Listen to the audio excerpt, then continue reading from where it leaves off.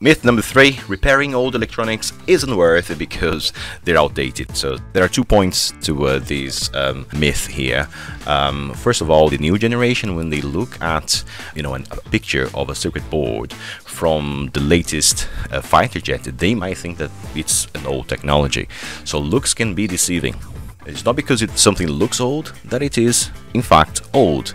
And then when you're talking about the defense sector, for instance, when programs can last 20, 30, 40, 50 years, yes, it might, it might eventually look old, you know, in at some point in the future, but that uh, old piece of electronics is incredibly dependable. It needs to be kept in operation for as long as possible. So yes, it is definitely worth it repairing electronics even if they look old or even if they are from a legacy program because we never know how long or when the, the program is going to be extended. But what, what we do know is that the programs will inevitably be extended and if you haven't repaired the spare parts that you once had, they will have vanished.